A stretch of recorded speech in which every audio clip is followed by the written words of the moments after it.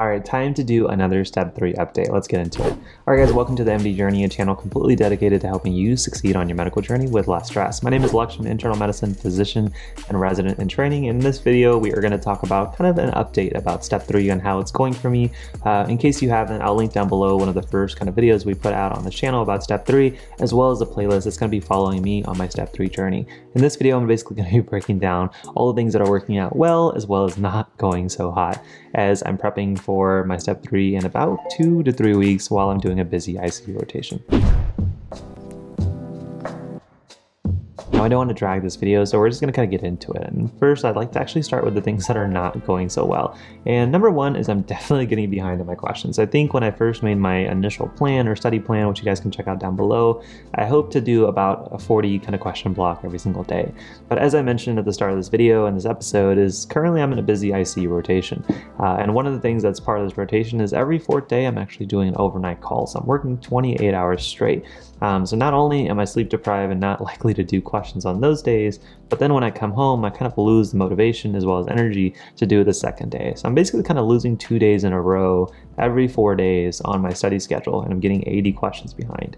Um, and I'm hoping, or I was hoping, to help mitigate that by being able to do more questions on my day off, like today. Um, but as I've calculated how many questions I have, which I still have about a thousand left, and I've done about six to 700, and I have roughly about two to three weeks left until my exam. That still gives me now an average about 50, 60, and almost 70 questions, depending on how many days I'd like to finish ahead of my actual test day um, that I need to do every day. That brings me to the second thing that's not going amazingly well, and that just happens to be that my grades are a little bit lower than I would like them to be. Now I'll talk about in a little bit why my approach really kind of represents my grades, but I'm getting roughly about a little bit more than half correct. And most of those questions happen to be on things that I'm just far removed from. So the OB-GYN, the pediatrics, I just haven't done in a few years because I'm now an internal medicine resident. And with that being said, thankfully with internal medicine questions, I tend to do obviously a little bit better, but even with that, take it with a grain of salt, I do I tend to miss a few of them. Now problem number three is that I've also not been able to consistently get into some of the clinical uh, questions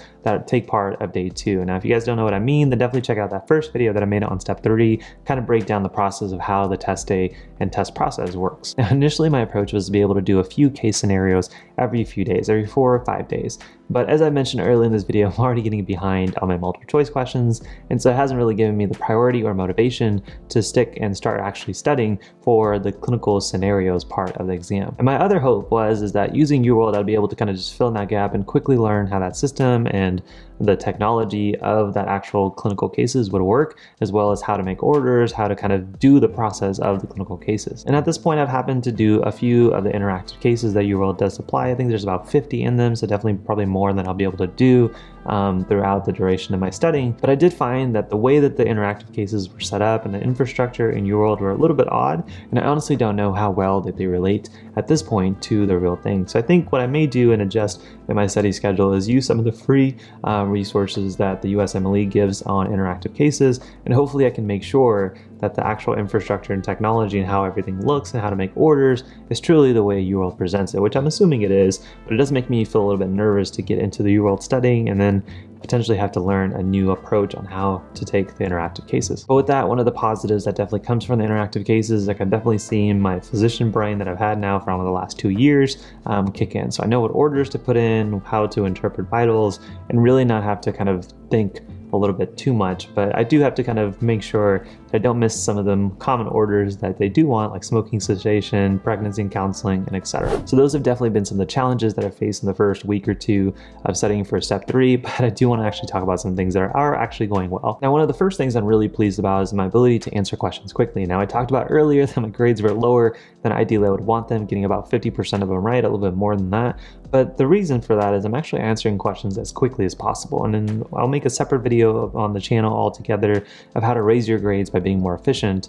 But one of the approaches that I really stand by is in this situation where I have 16 to 1700 questions to do through UWorld, I simply can't sacrifice that time by trying to answer every single question as if it was a test day question. I already know, for example, that my pediatrics and my OB-GYN knowledge is, is pretty poor at this time. It's been so far removed. So for me to take extra time to actually attempt the question and still get it wrong where I'm more likely to do is just a waste of my time. So actually what I like to approach now is I like to answer every question in the first 30 to 40 seconds. My internal medicine questions I can usually do pretty quickly, but even the pediatrics questions, and the OB-GYN questions that I don't really know pretty well, um, that would probably stump me on actual test day, I'm still answering those quickly because my main goal is to be able to get to the explanation that UWorld gives and basically either have that aha moment when I realize it's something I did know, it's just been a while, so I need that quick review, or something where I just realize I don't even recognize this at all. I can't believe I ever learned this, but I'm glad that I see it now. So answering the questions quickly definitely gives me some motivation because one,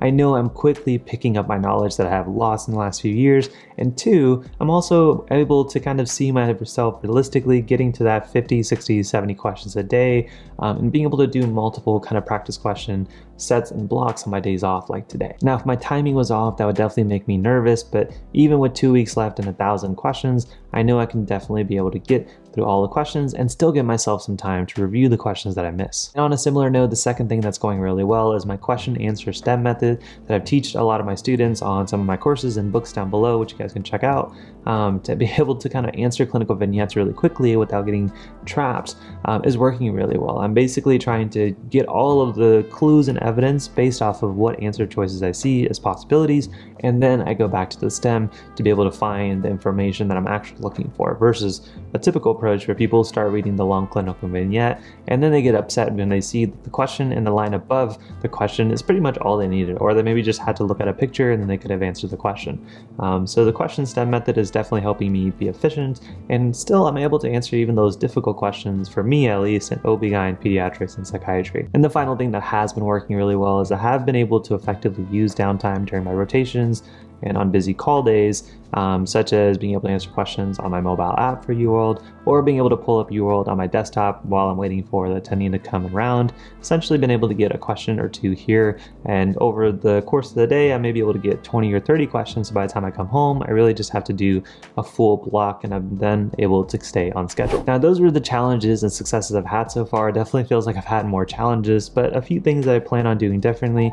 As you guys know I am a typical morning early morning riser but being on ICU rotation, my motivation to get as much sleep as possible is definitely up there. But because I know that this test day is about two, two and a half weeks away, I definitely do want to make sure that I don't get behind later on in case the rotation does happen to get busier. So I do plan on waking up early before my rotations around 4 a.m. to 5 a.m.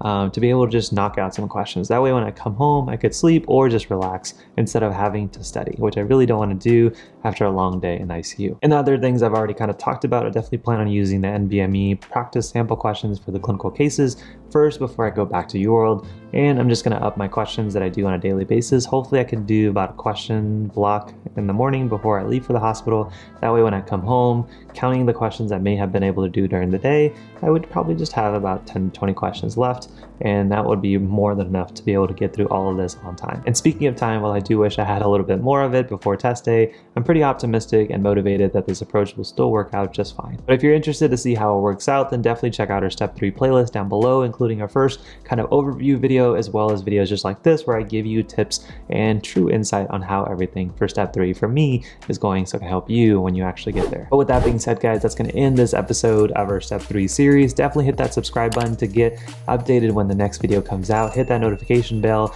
as well as hit that like button because that one, that tells me that you enjoy this kind of content. It definitely supports the channel. I truly appreciate it. And make sure if you have any questions that you'd like me to answer in a future Step 3 video, that you add those down below in the comments. So after you're done hitting that like and subscribe, I just want to say again, thank you so much for your support. Hopefully this video and this episode has been helpful to you. Thank you as always for being a part of my journey. Hopefully I've been a little help to you on yours. I'll see you guys in the next one. Peace.